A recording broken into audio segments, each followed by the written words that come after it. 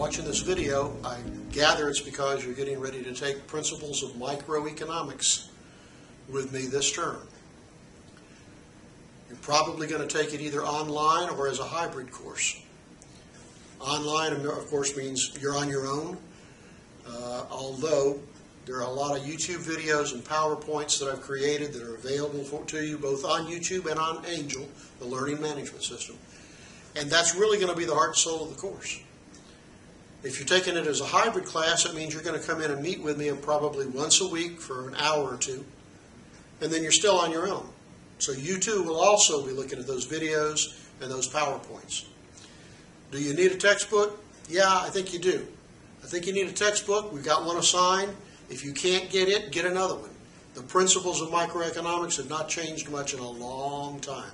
So you can probably get by with almost any textbook in terms of general knowledge. There are questions assigned from the textbook we're using. They will help you in this course. But heart and soul of this course and what you're going to see on the exams really comes from the materials I've created. The reading in the textbook sometimes will clarify things. But there are, for example, in the first test, there are four appendices, A, B, C, and D. They deal with supply and demand and markets. They deal with consumer surplus, the incidence of a tax, and the mathematics of equilibrium. All of that's on the first exam. All of that is shown in examples in the materials I've created for this course.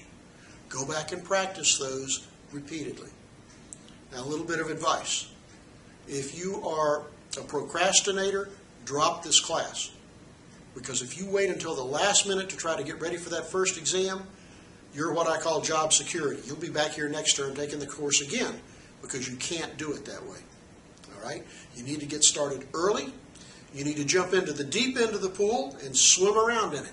Appendix A is 75 questions on supply and demand, where you're moving the demand curve, you're moving the supply curve at the same time.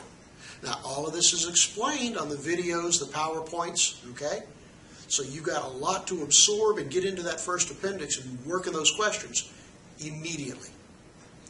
You can email everybody in the class.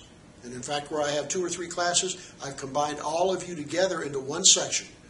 So you can email anybody you want. There's a discussion forum where you can post questions that either your classmates will answer or I will answer anytime you get hung up on a question or a problem. I would encourage you to do that. Many of you will, through correspondence with classmates, will create study groups. You may come into campus at the library, you may meet down at Starbucks, whatever. And through face-to-face -face interaction, asking questions, answering questions, I think you can also learn a great deal that way. But the onus is on you.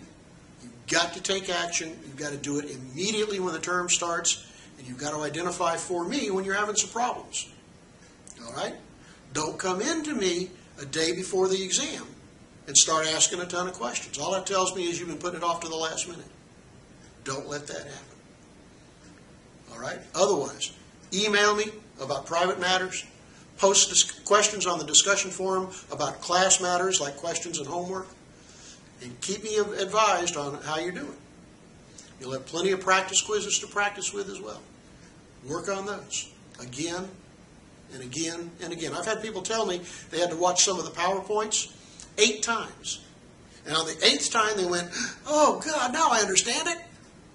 Do that.